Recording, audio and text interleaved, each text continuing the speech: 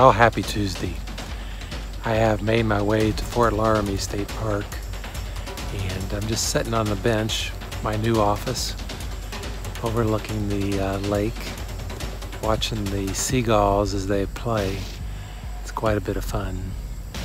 I'll uh, turn the camera around and show you a little bit about my view. There's nobody here, but uh, there's not a lot to see today. I'm just enjoying the beautiful peace and quiet. I, the only thing I've seen this morning is some squirrels having a ball. I saw, um, I did take a picture, a video on the Miami River of these tree roots that have been eroded away. All the soil's been eroded away and all that's left is the roots. It's quite an interesting sight, but I'll uh, post that, maybe some footage from here. I probably won't fly the drone a lot because drones and seagulls, I've heard all kinds of interesting stories. Don't know if they're true or not, but seagulls and drones, yeah. So have a great day. I'll uh, be taking a butterfly walk this afternoon. It's going to be really hot, really humid. Your best to stay in if you can, but if you're out, be careful, drink lots of water, and uh, enjoy that.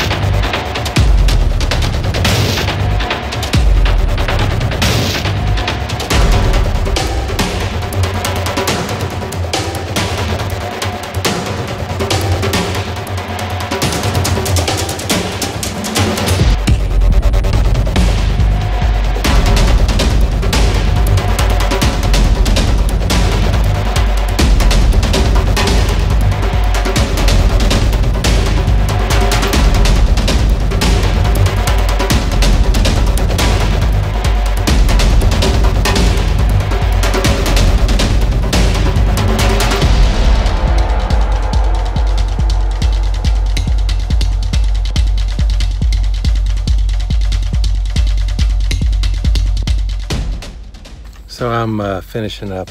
I'm done for the day until my butterfly walk. I just had the most interesting drama to watch. I watched this turkey vulture and this blue heron playing this little game.